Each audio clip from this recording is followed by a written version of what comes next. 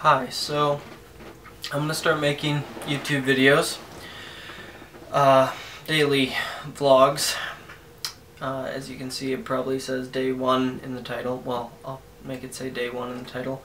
Don't know what I'm actually gonna title this, but uh, yeah, I was inspired by this guy named Blair, who's from Perth, Australia. I just stumbled upon his vlog um, one day, just searching up philosophy videos. And uh, yeah it was really cool to see someone who was just you know like unafraid of just showing his daily life and then also seeing it as a means of communication of concepts that he was learning about and um, you know a way to like meet like-minded people and stuff like that. So yeah, I used to make videos like two years ago, but those ones were kind of more pre-planned, but also a lot more boring, I think.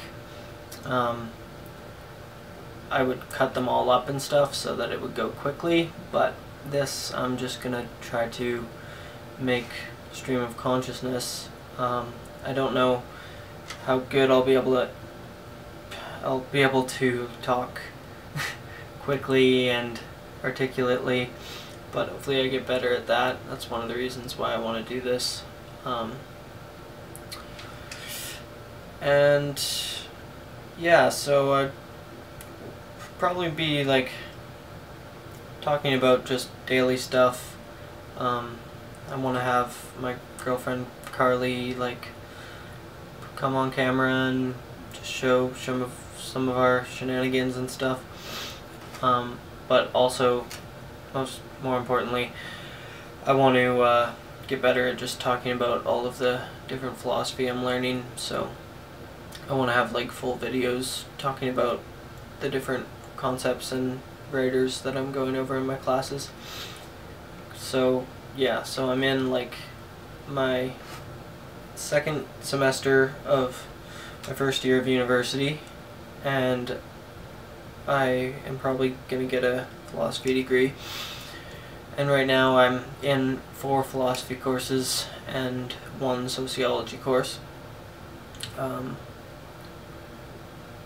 the four philosophy courses are continental philosophy, Descartes to Kant, and then two ethics courses. One is just an introduction, and then the other one is uh, is the second level one. So um, in continental philosophy, we've been doing Heidegger and Husserl for the first two weeks. So I want to have a good video on both of those guys. And then um, Descartes, we've just we've just been reading the meditations and a bit of uh, the discourse on the methods. So I'll have one video where I go over all of the different conceptual frameworks we've been going through with him. And then with ethics, in the intro one, we're reading all of The Republic and all of Leviathan. So I'm going to have quite a few videos on those books, I think. Um, and then, which uh, I'm, I was really excited to find out when when I found out we are reading the whole books in the class because I don't like learning from textbooks. I like to read the primary sources. But in ethics, we're doing a lot of textbook stuff. Um, the first two weeks, we've been doing a lot of modern takes on ethics.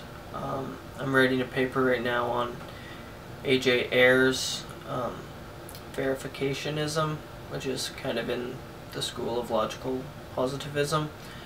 So I will probably make that my second video. Um, just kind of a refutation of verificationism. And then other stuff we read was Hume going on about cultural relativism and this writer Mackie who did an essay on subjectivity of values, which is kind of the closest thing to what I think my ethical stance is, but I don't really know quite yet.